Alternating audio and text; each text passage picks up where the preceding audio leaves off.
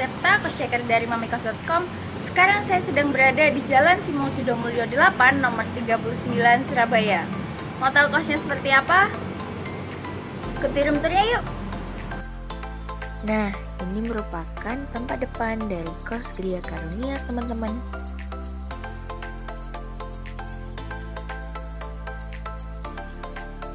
Yuk, kita masuk. Nah, kos ini merupakan kos campur, maka dari itu dipasang CCTV ya. Dan ini merupakan tolokan listrik yang digunakan untuk setiap kamarnya. Ini adalah area parkir motor di mana bisa menampung 8 hingga 10 motor. Sedangkan ini adalah area teras di mana kalian bisa bersantai atau menerima tamu.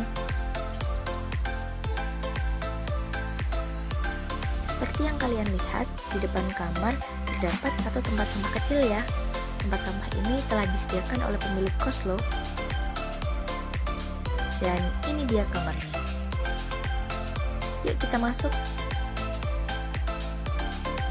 Nah, kamarnya cukup luas ya teman-teman.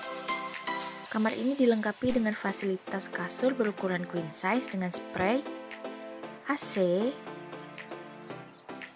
lemari yang cukup besar,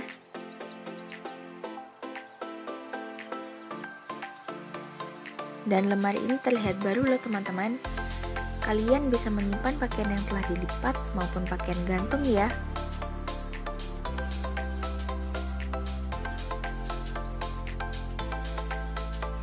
dan ini adalah meja belajar beserta kursinya. Tidak lupa gantungan bajunya. Dan tentunya ada stop kontak ya teman-teman. Nah, di sisi ini juga terdapat CCTV loh. Pasti aman dong ya. Dan ini adalah wastafel beserta cerminnya.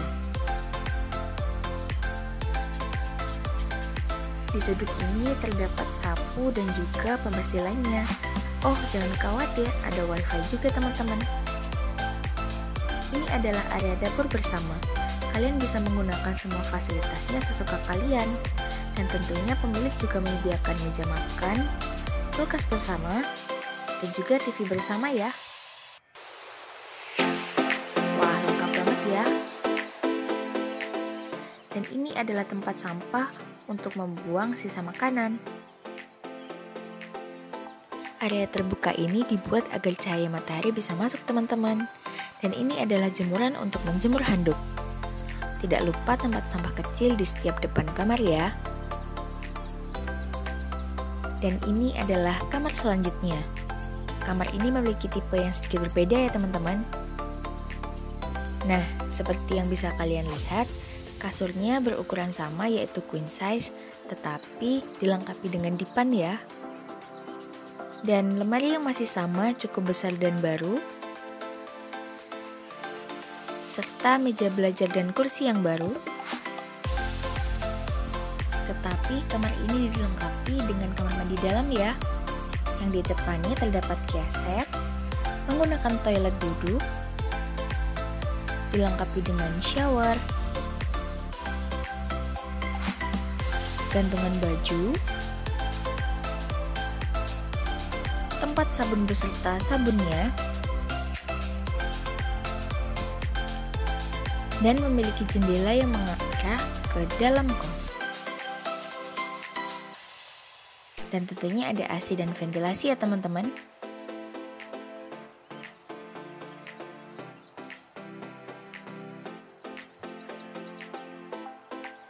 dan ini adalah kamar mandi luarnya. Dilengkapi dengan toilet duduk, bak air, dan juga gayung. Dan toilet lainnya dilengkapi dengan toilet duduk juga, beserta shower, gantungan baju, dan ventilasi ya.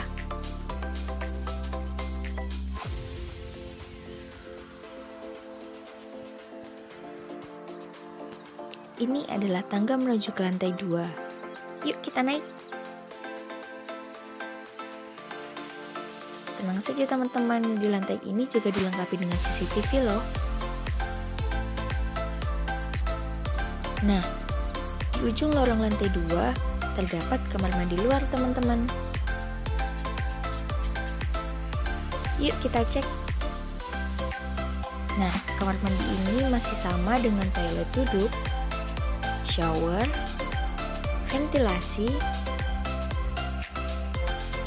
dan juga gantungannya ya teman-teman. Yuk sekarang kita cek kamarnya.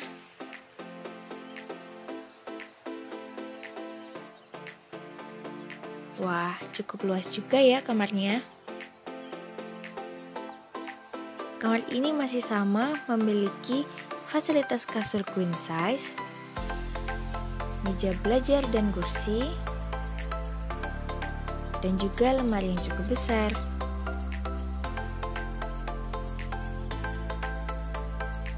Dan tentunya ada tempat sampah kecil ya teman-teman. Tidak lupa stop kontak, AC, dan ini adalah pemandangan dari lantai 2. Kalian tidak perlu khawatir teman-teman karena kos ini memberikan fasilitas pembersihan sampah ya dan nantinya akan dijaga oleh penjaga selama 24 jam. Nah, teman-teman, jadi itu tadi merupakan review dari kos Jalan Simo Sidomulyo 8 nomor 39 Surabaya. Ya teman-teman, sebagai informasi tambahan, kos ini merupakan kos campur di mana laki-laki, perempuan maupun pasangan suami istri bisa tinggal di sini. Dan kos ini memberikan fasilitas umum seperti wifi gratis, dapur bersama, meja makan bersama, teras bersama, kulkas bersama, dan juga TV kabel. Dan kalian tidak perlu khawatir, kos ini juga memberikan fasilitas seperti spray dan juga bantal dari sini, sehingga kalian tidak perlu membawa spray ya. Dan kos ini juga menggunakan token untuk setiap kamarnya, jadi kalian yang harus memperkirakan pengeluaran listrik kalian sendiri. Kalau kalian tertarik dengan kos ini, silahkan klik tombol booking ya. Terima kasih dan sampai jumpa.